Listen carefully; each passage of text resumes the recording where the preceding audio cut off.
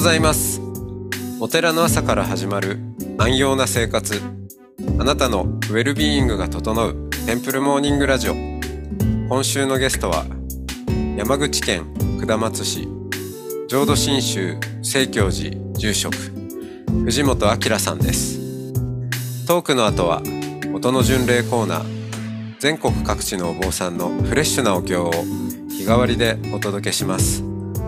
このラジオはノートマガジン松本商家の北条庵よりお送りします。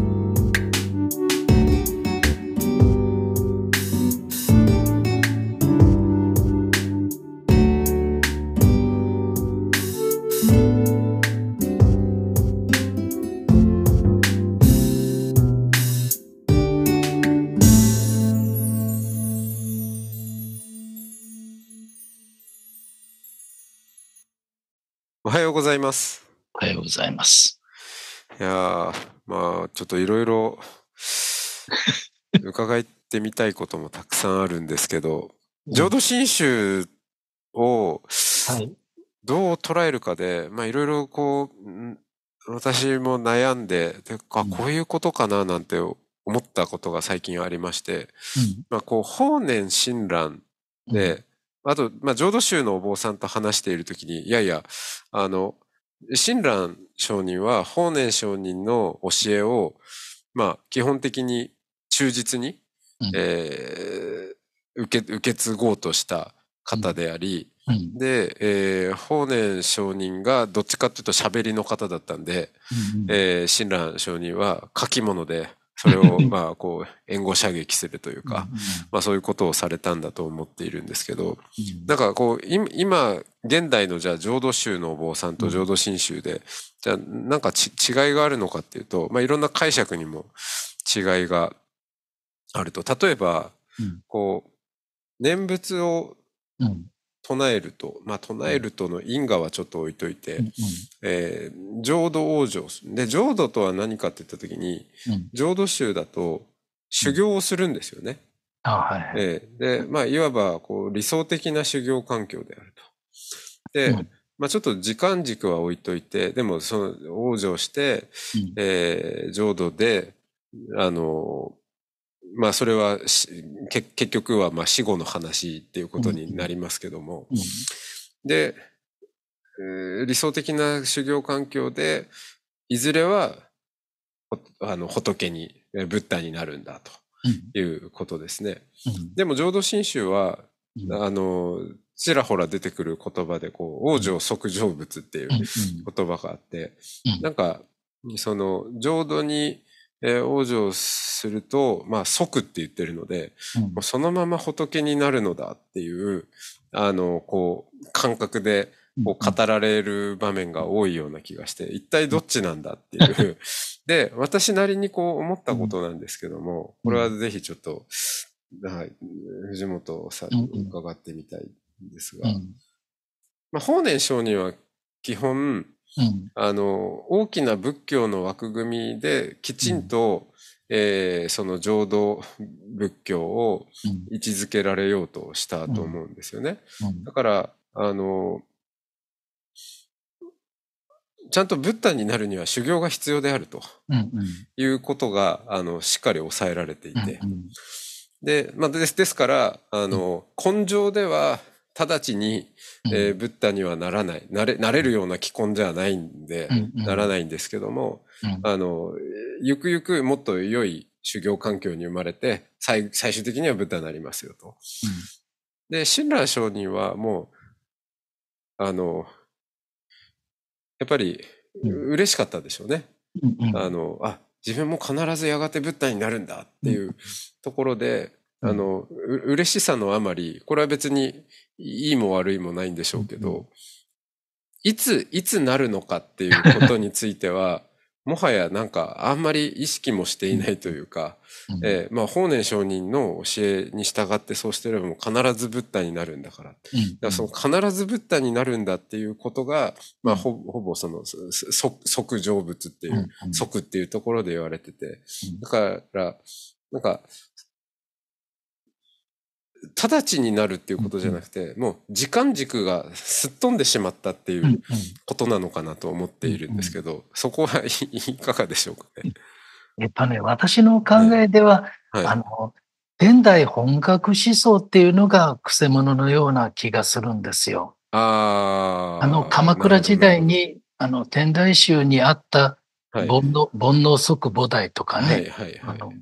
あるいはそれの仲間の如来像思想ですよね。はい、誰でも仏様になる能力があるはずだから、種があるはずだから。はい、まあ、本来仏であるっていう。そうそうそう。ことですね。それが、あの、悪く言えばすごく堕落しちゃいますよね。あの、煩悩のまんまで悟れるってことって言ったらちょっと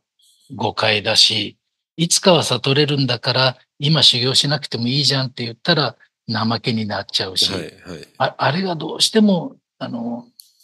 法然の言葉の中にあんまり出てこないんですけど、親鸞の言葉の中にはちょくちょく出てきて、あの、読んだ人がびっくりしたりするんですけどね。あの、煩悩即菩提も親鸞使ってますからね。で、私が、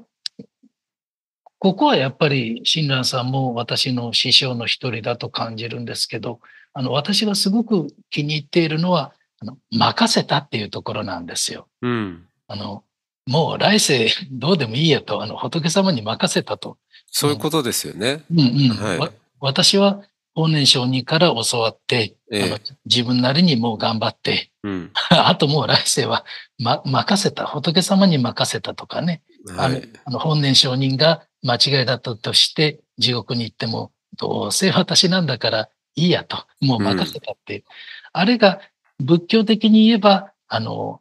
何でしたっけ？任せるじゃなくって、あの、解き放つんですよね。うん、あの、なんだっけ？放っておくとか、ああれですよ。うん、じゃじゃないかと私は考えています。はいはいはい。自分自分はやるだけのことをしっかり頑張って、うん、やるだけ、そうそう。あとはまあど、どうせ他にこれ以外に道はないんだ。ない、そうそうそう。ええ。だから、うん、その、いつブッダになるんだも何も、考えること意味、意味がないので、うん、ええ。無限にこう、そこは時間軸を、うん、あの、いつなるのかっていう問い自体を捨ててしまったっていう。そうなんですよね。どうしてもね、法然さんが先生タイプで、オールマイティにいろいろ教えておられて、はい親鸞上人は、あの、弟子、生徒タイプですよね、うんうん、俺はこう感じた、こう受け取ったぞと。だから、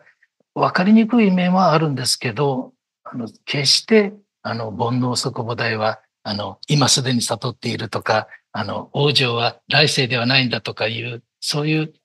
それ、あの、明治以降に流行った疑問ですからね。はいはい、はい、江戸。江戸時代まではなかった疑問ですから、そんなんじゃなくて、救われる喜びがもう自分に入っちゃったっていう感じではいはい。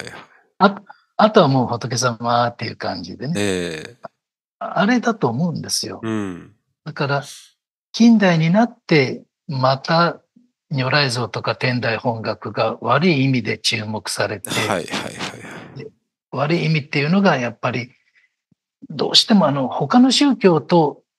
か哲学とか出てきちゃいますからね。はい、別に、うん、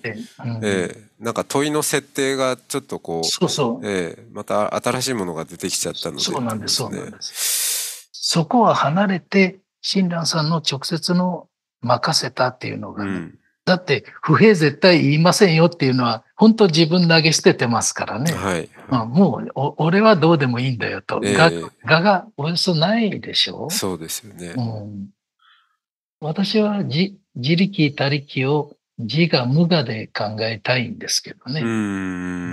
他力が丸ごとっていうのは、あの、自我がおよそない状態で、はいはい、じゃないかなと思うんですけど、はい、任せたからには絶対文句言いませんよ、後から。あの覚悟っていうのは相当何かあったんだろうなとは思いますね。そこを全然書いてないからわかんないんですよ。結果の、結果のところばっかりでね。はいはい。うん、というという感じ持ってます。うん。あとあの、王相エコー、幻想エコーで、あのー、ま、こちらから浄土に往生していく、王、行くですよね。まあ、それをこう、王僧と言ったときに、えー、その、まあ、仏なのか菩薩なのかわかりませんけど、行ったら行きっぱなしじゃなくて帰ってくるんだっていうような、まあ、こう、で、こう、行くと帰ってくるで、よくこう図で表されて、あれ私ずっと何言ってんのかわからないなと思ってたんですけど、あの、これちょっと伺ってみたいんですけど、私なりに、いや、その、もう、菩薩なり、仏なりの、が、なって帰ってくるっていうのは、うん、あの、と土台無理な話で、うんあ、っていうのはなぜかっていうと、な、私は語り得ないわけですよね。わからないから。あの、仏のことも、菩薩のこともわかりませんから、語り得ないんで、で、そうしたときに、この、じゃあ、それがこう、仏やら菩薩やらになって、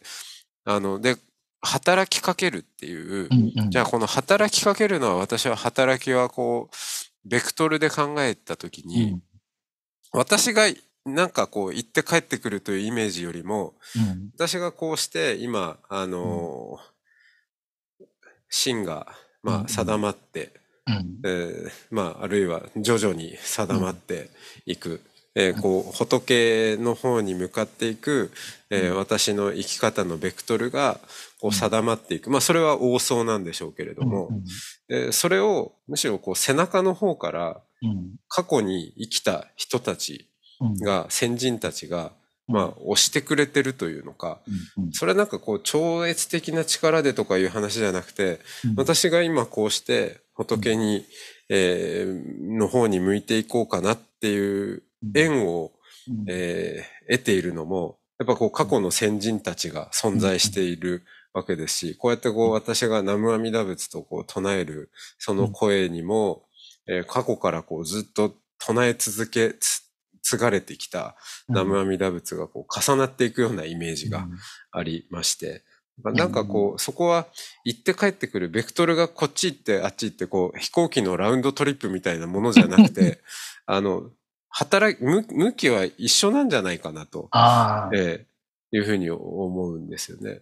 私はね、もうちょっと意地悪く考えちゃって、ほうほうほう浄土真宗は仏教のな、仏教なのかの中で、あの、方法論言わなかったんですけどね。はい、ええ、方法論としては、浄土真宗が言っている説は、あの、仏教の教義で越通できるかできないかってことで、はいはい、越通できなければそれは捨てちゃえとかね。ええ、あるいは、こう解釈したら、あの、OK だよとか、そういう意地悪な視点で書いちゃったんですけど、あの、王相幻想についても書きましたけど、おそらく、あの、イメージとして先に亡くなった方が、例えば、通仏教で言えば、展開に行って、はい、展開から時々戻ってきたり、あの、ニコニコ笑っているおばあちゃん亡くなったはずなのに、あの、お家に帰ったらいたよとかね、金色に輝いてニコニコ笑ってたよとか、ああいうところから幻想エコーが、アイデアが出てきたんじゃないかなという気がするんですね。あそういうインスピレーションから、ねうん、そうそうそう、えー、先人が、亡くなったはずの先人がいつまでもあの見守っているような気がするとか、支えてくれてるような気がするとか、最近で言えば先祖霊とか守護霊とかいう、ああいうアイデアが元にあるんじゃないかなと思うんですね。はいはい。で、自分がやっぱり消えたくないっていうイメージもあるだろうと思います。あの、あの、浄土に、まはい、また帰ってくるんだ。そうそうそう。浄土に行きっぱなしじゃ寂しいなと、うん、また仲良かったこの人々と会いたいなというところで、浄土から帰ってきたいなっていう願望もあるかなとかね、そういう意地悪なこと考えちゃうんですね。そそうで、そうでなければ、あの、明治以降の解釈かもしれませんけど、今生きているまんまで、王僧は自分が救われるために頑張ってて、幻想は納得して信心いただいた後で、じゃあ今度は他者のために頑張りましょうとかね。あの、この世の中での妄想幻想とか、そういう解釈もあり得ると思う。それはこう、浄土前の、あの、お釈迦様と浄土後のお釈迦様の働き方の違いっていうことですか、そ、そんな感じで、あの、救われる前の私と救われた後の私とかね、まあ、まだ往生してないんですけどね。うんそういう、そういう妄想幻想とか、とにかくあれはちょっと分かりにくい。私には。あの、うん妄想幻想のアイデアはね。いや、そうですよね。うん。いやちょっとその、うん 私が聞きたいことを 一方的に聞いてしまいましたけど、ままだまだ、いや、ありますけどね。はい。あのーまあ、こうして今、まあ、うん。改めて、こう、浄土真宗と仏教を、あのーまあ、仏教の大きな枠組みの中で浄土真宗をこう捉え直していく中で、改めて浄土真宗の、まあ、別に良さじゃなくてもいいんですけど、うんうんこう特徴というのか、うんあの、いろんな仏道がある中でも、こううん浄土真宗アプローチでやってみようかなって思う、えー方には、こう、どんな、どんな風にこう、その浄土真宗の特徴っていうのをお話しされますか？えっとね、間口が広い、うん。敷居敷居が低いのが非常にありがたいですね。うん。あの、とりあえず仏教を学んでみるとか、仏教ってどんなの？とかいうときに、浄土真宗だと、これを守りなさいとか、これをやりなさいとかが少ないから、入りやすいような気がするんですね。そうですね。うん、まあ、か加点法って言いますかね。あの、悟らなければダメなんだよ。あの、輪廻しちゃったらダメだよって言うんじゃなくって、どうせ、もともと、も う、どうせダメですから、そうそう、煩悩だらけの私が仏様ならなんとかなるかもと思って寺に行ってみたら、へえ、こういう教えがあるのとか、あの、いろいろ学んで、じゃあ私もこれ頑張ってみますとか、ダメでも、あとは仏様にお任せと。うん。うんやったらやった分だけ、何、何らか、あの、まあ、仏教的に言えば、功徳になって、自分の種になってますからね。それを、まあ、他力なのになんだって言われたらしょうがないんだけど、自分が頑張った分は自分が頑張って、で、足りないところはもう、あとはもう自分の業だからっていう、あの、お任せっていうか、な投げ捨てっていうかね。まあ、やるだけやったよっていう、あの、明るい死に方が浄土真宗にはあるような気がするんです。うん。うん完成できなかった残念じゃなくって、じゃあまあ次の世でまた頑張るよっていう感じで。そうですね。だから私こそが浄土真宗のお寺でよかったなとは感じてますね。あうーんおかげでいろんな仏教の他の教えも学べたし、やっぱり親鸞さんが 日本人のあの時代のあの愚道の仕方っていうのはやっぱり共感できますね。うん。もちろん私の解釈で言うんだから、あの、正当な解釈とは違うでしょうけどね。大先輩としてやっぱり学びたいですよね。そうですねう。ん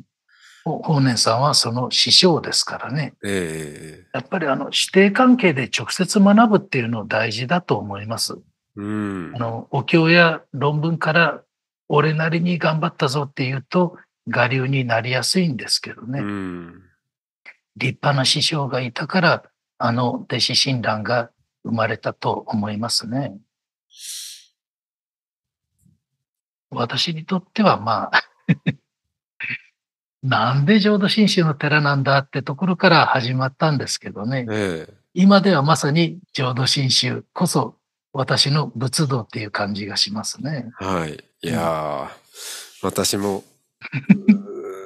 最近ようやく、あの、本当にそう思うようになりました。しかも、はい。お釈迦様までちゃんとつながってますよ。そうですね。うんはい。よくよく見てみると、うん。ええ阿弥陀さんしか出てこないようでいて、ちゃんと 全部ありますねはいえありがたいです。えうん。いやーありがとうございます。あ、ありがとうございました。はい。いや、それこそ私も今回こういう形で、あの、直接、えー教えを 請うことができて、とても、えー嬉しかったです。あの、松本さんがいろいろあちこちで発信してくださって、そのおかげで私も学べたんです。あの2階建て、本当に感謝してます。ありがとうございます。他にもどんどん、あの、アンセストリストですか？はいはいはい。あありがたいです。すごい勉 強になってます。いや、またじゃあちょっとそうですね。アンセストリストのあたりの話も したいですけど。はい。じゃあ改めて、また、はい。はい、はい、えー、いろいろ、あの、学び合いさせてください。ありがとうございました。貴重なご縁ありがとうございました。お世話になりました。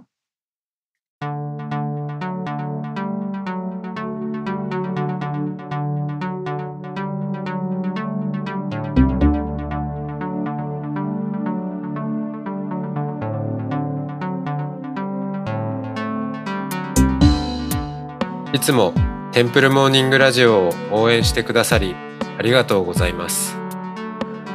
番組を継続支援してくださる TMR サポーターを募集しています詳しくはテンプルモーニングラジオ公式ホームページ radio.templemorning.com ドネーションのページをご覧ください。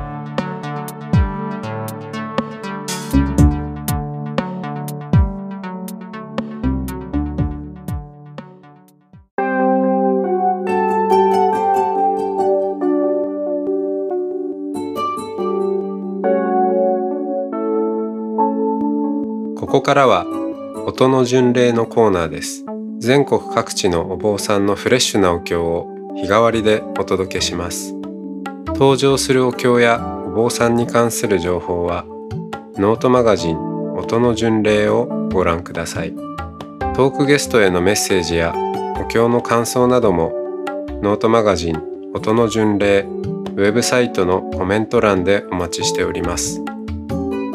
それでは今朝も音の巡礼へいってらっしゃい。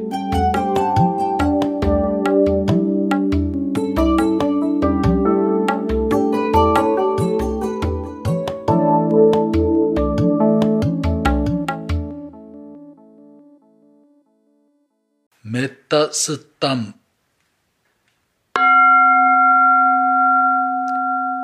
からにやまったくされなヤ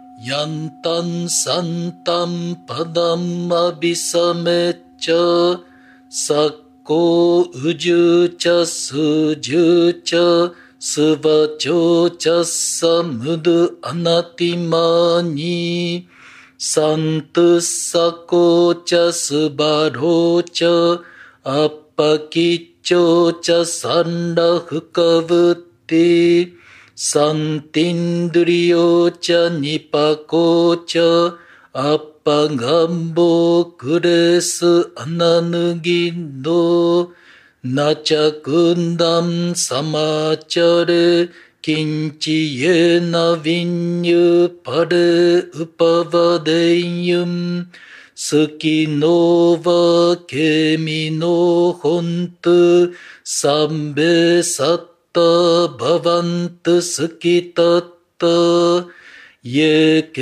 チ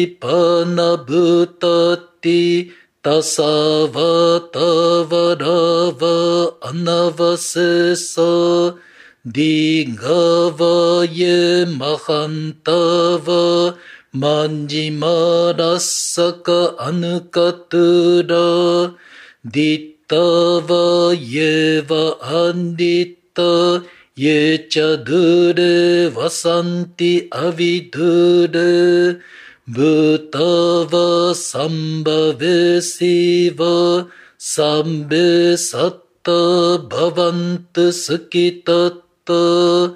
न परोपरन्यिकुम्भेत नातिमन्येत कत्तचिनं कञ्चि। व्यादोसनपतिङसञ्ज्ञ नान्यमन्यस्स दुःखमिचेय्य माता यत नियं पुत्तम् आयुष एकपुत्तमनुरक् एवम्पि सम्बभूतेषु अपरिमानम् मेत्तञ्च सम्बधो कस्मिं मानसंभवये अपरिमानम् उन्दं नदोच तिरियञ्च असम्बदन् अविरन्न सपत्तं ति चरन्निषिन्नोव ギンドナ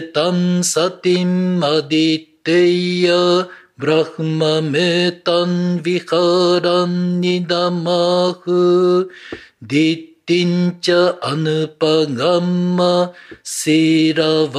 ダンサマチャ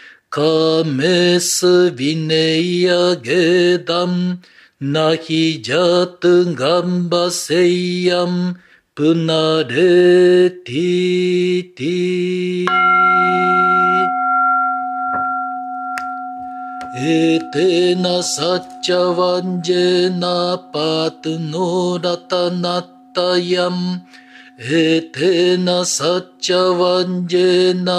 होत नो जयमङ्गलम्। एतेन सच्यवंजेन सदा सोत्ति सुीभवन्त् नो।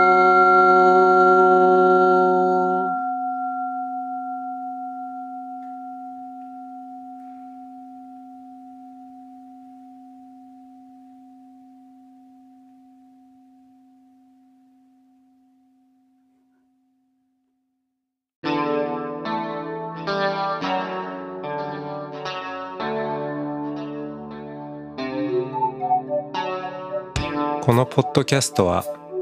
ノートマガジン松本紹圭の方丈庵よりお送りしました。お経コーナーはノートマガジン音の巡礼のご協力でした。ゲストへのメッセージや番組の感想などはそれぞれのノートのコメント欄にてお待ちしております。それではまたテンプルモーニングラジオでお会いしましょう。